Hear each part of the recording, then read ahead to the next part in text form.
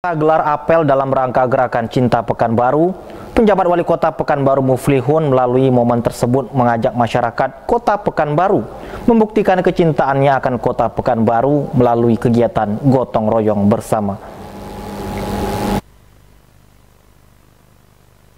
Jumat pagi, penjabat wali kota Pekanbaru Muflihun memimpin apel gerakan cinta kota Pekanbaru di lapangan Baterai C, Jalan HR Subrantas Panam. Apel tersebut dihadiri sekretaris daerah dan sejumlah kepala OPD di lingkungan Pemko Pekanbaru, unsur Forkopimda, para pelajar, serta masyarakat kota Pekanbaru. Melalui gerakan Cinta Pekanbaru tersebut, penjabat wali kota Pekanbaru Muflihun mengajak masyarakat untuk membuktikan kecintaannya terhadap kota Pekanbaru dengan melakukan gotong royong bersama. Ya, wartawan, ya, pagi ini kita memang sama rencana jadwal kita.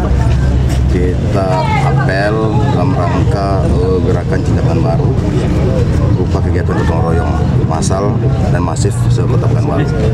Ya, harapan kita uh, dengan apel ini, dengan guru pertama ini bisa meningkatkan motivasi dari masyarakat.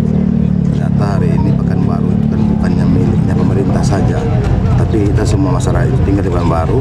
Kita adalah anak-anak orang-orang Pekanbaru. Kita harus punya tanggung jawab lah untuk Pekanbaru ini. Misalkan contoh di depan rumah kita ada uh, drainase tersumbat ya, kita bersihkan. Kita mesti harus menunggu semuanya dari pemerintah. Apalagi dengan banyaknya parit di kota Pekanbaru ini, tidak mungkin lah saya pemerintah itu sampai langsung ke tiap-tiap permasalahan. Jadi kita petakan mana lokasi banjir. Dan hari ini kita coba memulainya. Kalau mungkin misal ada 300 titik banjir, selesai hari ini 50 titik kan mungkin di depan lagi kita mulai kembali ya. Muflihun menegaskan kebersihan kota Pekanbaru bukan hanya menjadi tanggung jawab pemerintah saja, melainkan juga seluruh masyarakat kota Pekanbaru. Rizka dan Zidan Alazar melaporkan.